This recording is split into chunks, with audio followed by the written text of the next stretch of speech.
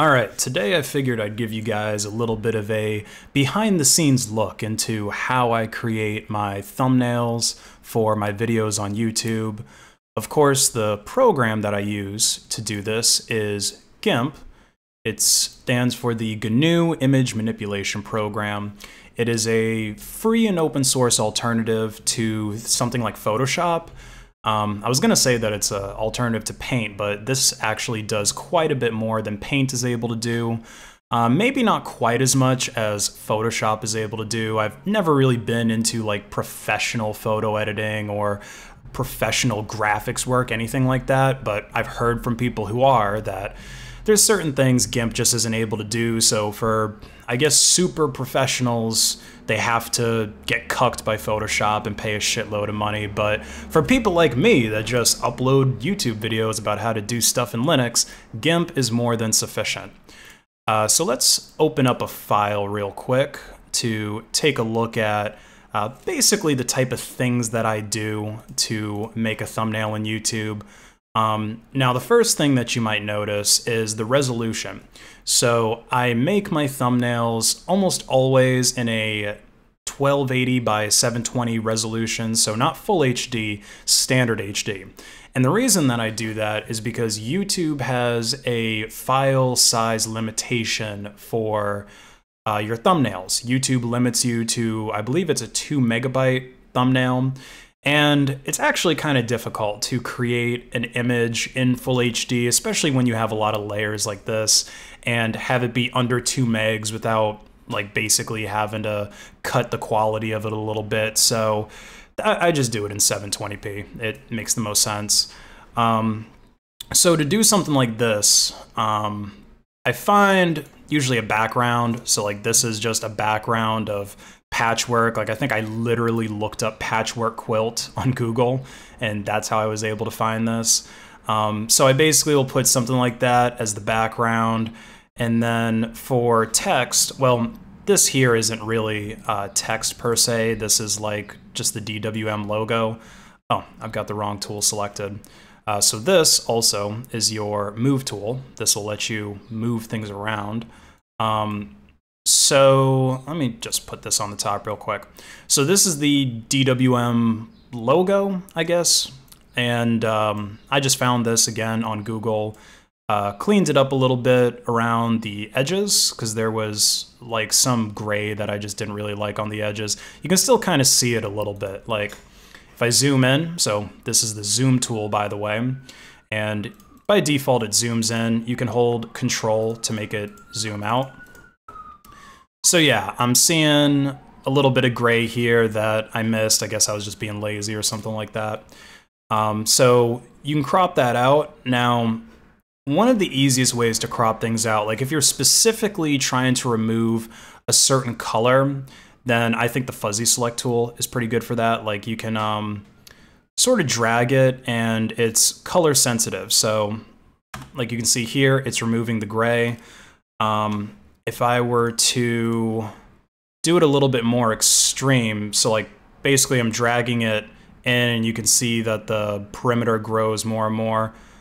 Yeah, so at this point, it's starting to select um, like into the black a little bit. So like if I deleted this, you see it's to look really bad. Like it's it's basically making it translucent now at this point. So that's not what we want to do. Typically, I'll just do something like that, right? Select a little bit of gray that's inside. Um, so that's how I do that. Now, to get the uh, the layered effect, like if we go back to how it's layered here. So to get this layered effect where the text really pops out, the way that you do that is as follows. Um, you want to go ahead and select your layer that you have. So we're looking at the black one here. And you want to do alpha to selection. Now, what this does, as you can see, it created like a little uh, trail of ants going all around the perimeter, both the outside and the internal perimeter of uh, this logo here. And then what I do is I come up here to, well, first actually, I'll create a new layer. So just right click over here in your layers slash brushes area, create a layer, doesn't matter what you call it. Um, make sure that the width and height are the same, it should be. And you want your layer fill type to be transparent because obviously if you do it as white, then it's gonna do that. And that's not what we want. So create a new layer, make it transparent. Again, these are all the default values, so you shouldn't really have to change anything here. So now we've got um, this alpha selection that's still here, but we're in a new layer. So like if I were to do um, something like this, let's fill it with purple. So you can see here that we just created this, um, like an exact replica of this DWM logo. But what we actually want to do is to get this outline, we want to come up here now to select, and we want to grow it. And usually I'll do a growth of two, um, here, I might have done a growth of one since I did a double layer here, but like if you do a growth of two, then you'll see that it expands the pixels in every single direction by two, even internally here. So now, if I were to fill this in as purple, and then get rid of the selection, and then put it behind the black text, now you can see that there's just a little bit of purple kind of sticking out around it almost gives it like an aura or something, like it's going Super Saiyan. Well, not really. If it's purple, it would need to be like yellow and have blonde hair and stuff like that. Uh, so yeah, you just do that and then repeat it again to get a double layer effect. Um, obviously, you want to grow the um, like the purple in this case because we already grew it once. So then you need to grow that again by two pixels or however many put it underneath again, and then that's how you get that multi-layered effect. And you can do the same thing with text. So that's what I have going on uh, up here. Like I just typed out the text, patching made easy. Actually, I'll just go ahead and create something new over here. We'll do like uh, mental outlaws channel is the best spell it in Ebonics. And uh, yeah, so grow the text a little bit. Like we'll do, I don't know, maybe a 90 point font. And it'd be better if it's the uh, front layer. Um, that's weird. It's like still, oh, okay. I thought it was behind, but it's just blending in with this. Let's get rid of that. It's making things look confusing. All right, so same idea here. Just right click over here in your layers field, alpha to selection, and then create a new layer. And then select grow, do it by, I don't know, let's do it by three. Make it look a little fat this time.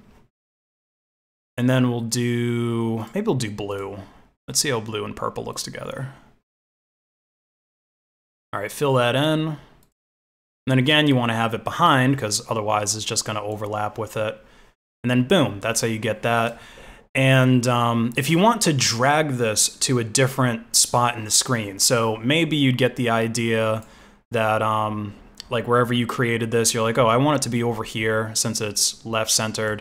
And then maybe you try to like, you know, line it up and, and do some silly stuff like this, but that's not what you want to do. See, you want to do it the smart way you want to lock these two layers together. And so now I can drag them together at the same time. So now they're lined up, they look good, they don't look silly or anything like that. Um, so yeah, that's pretty much the gist of how I create my files for YouTube. I mean, my uh, thumbnails for YouTube. Oh, and also I typically export them as a PNG. Um, so like I'll just call it some generic thing and then export it. And then I just leave everything as the defaults. And uh, I actually don't want to overwrite that file. Let's call it like, there we go. now it has a different name. And then export it and then boom, there you go. Attach it to the video. Um, yeah, there we go. Now that's kind of the conclusion of how I make my thumbnails for YouTube. Let me know if you guys would be interested in a series of GIMP tutorials. I mean, GIMP is probably one of the most popular free and open source programs that are out there. Well, I guess maybe Chromium technically, but Chromium is like, uh, I don't know. I like GIMP more than I like Chromium.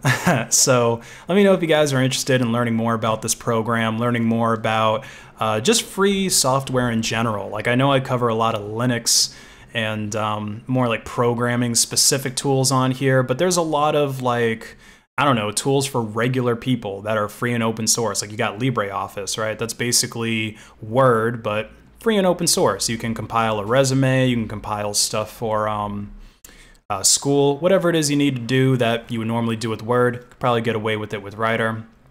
Yeah, let me know in the comments down below. Peace out, guys.